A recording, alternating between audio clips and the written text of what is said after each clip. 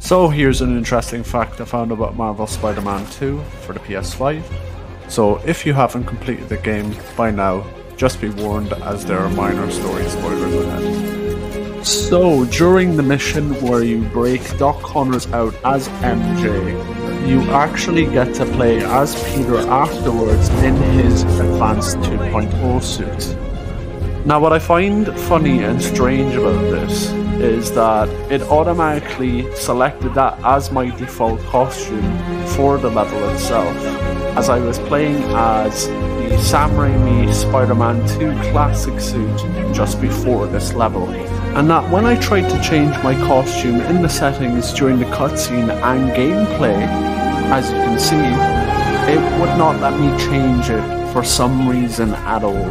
And I don't know whether that was an intentional thing from Insomniac or whether it was purposeful, but I just find it strange as my personal opinion is that I think it would be really cool if you're able to change costumes in this level while you're changing into the simulator. But what do you guys think? Do you think Insomniac will actually add this as an update in post? Sound down in the comments with your suggestions and opinions below. Until next time, peeps, see you later.